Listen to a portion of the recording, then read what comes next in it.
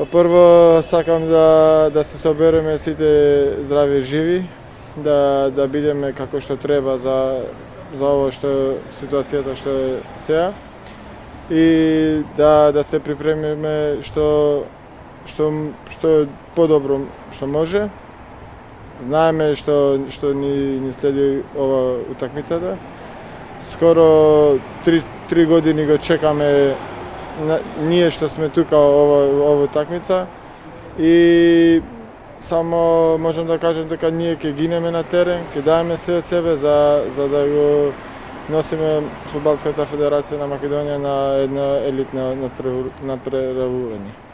Па овие задни два месеци сме играле два пати, два реми, но ова е сосема друго, друг друг систем на на играње.